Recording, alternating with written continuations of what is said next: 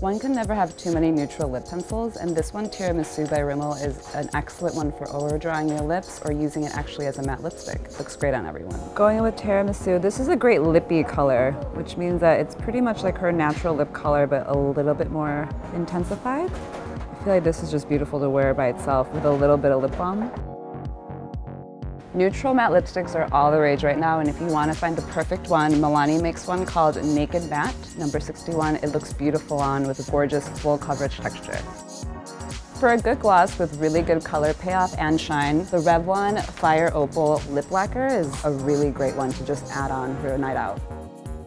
Another product that I'm obsessed with at the drugstore is the Revlon Color Matte Balm. This color is elusive. I use this on everybody. It looks great on all different skin tones. So easy to apply. It's like a giant crayon for your lips. And then to finish off, the Matte Balm. Super hydrating, has great color payoff. And this color is great. Another successful trip at Walgreens Beauty.